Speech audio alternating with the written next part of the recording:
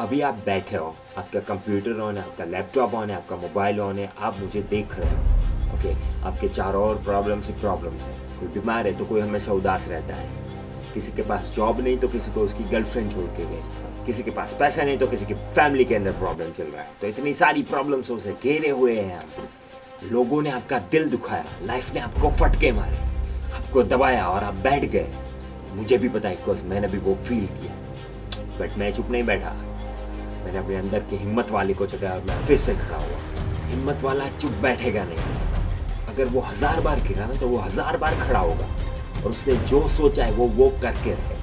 अगर वो उदास है तो वो उदासी को गोली मारेगा और ज़्यादा फोकस अपनी खुशी के ऊपर करेगा। अगर उसके आसपास बहुत सारी प्रॉब्लम्स होती है तो वो उन सब प्रॉब्लम्स को स्किप करेगा इग्नोर करेगा। प्रॉब्लम्स को मिटाया नहीं जा सकता बट उसे स्किप या इग्नोर किया जा सकता है। वो हिम्मत वाला इंसान हर एक के अंदर होता है। बट बहुत कम लोग उसे जगाते हैं, उसे उठाते हैं। उठाओ उसको।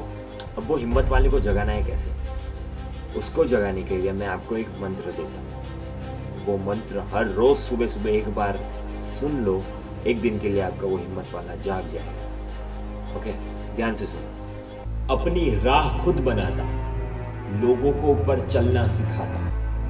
सच्चाई का है पुजारी, हर बंदरों का वो है मदारी। सबकी माँ बहन करने वाला होता है असली हिम्मत वाला। जागेगा मेरे अंदर का वो असली हिम्मत वाला हिम्मत वाला हिम्मत वाला।